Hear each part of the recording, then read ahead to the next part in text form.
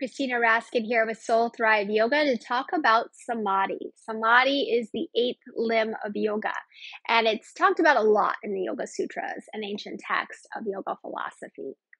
The Yoga Sutras give us so much wisdom and so many tools that are really applicable to daily life.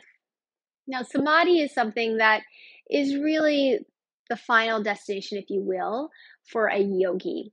Now, what is a yogi? We're often using this term these days in an inappropriate way. Uh, yogi really means somebody who's committed themselves to a spiritual teacher, a guru, committed themselves to this spiritual life where they are working towards samadhi. Samadhi being enlightenment or connection to spirit, connected to their divine being at all times, transcending the human plane. Most of us that are practicing yoga these days, including myself, are not working towards samadhi. We are what would be called householders, not yogis. We're householders. So we live in the modern day world. We have husbands and kids and jobs. It doesn't mean that we can't practice yoga. And we can also have a guru. We can also have a spiritual practice. In fact, we should have a spiritual practice uh, if you're doing yoga, because that is part of what yoga is. Um, but it means that we're not working towards full samadhi. And samadhi actually has 10 different layers to it. It's quite complex, but there's these different layers that you move through. And eventually you're connected and, and working from that place instead of from your human existence. Um, and as I mentioned, this may not be something that you want to work towards at all, which is totally fine. At one point in my life, I thought I would move and live in an ashram and work towards that. I chose not to because I wanted to have kids, and that would be a householder's life. Now I've ended up not having kids, uh, but I still want to have the householder life. And there's nothing wrong with that.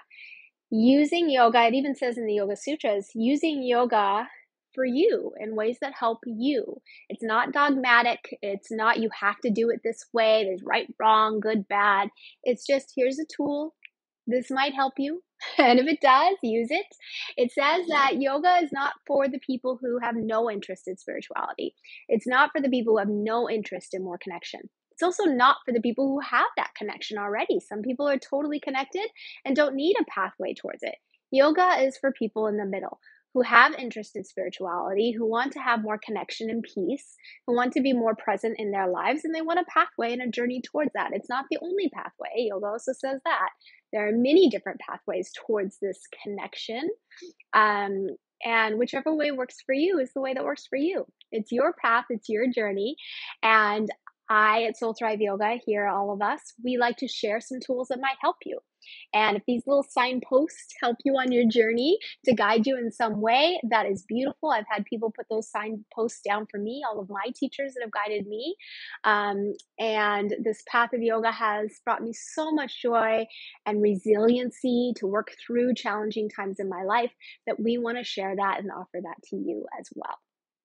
You have any questions at all, please reach out. I'm always here to chat. I can talk about yoga forever until I'm blue in the face. So you're never bothering me.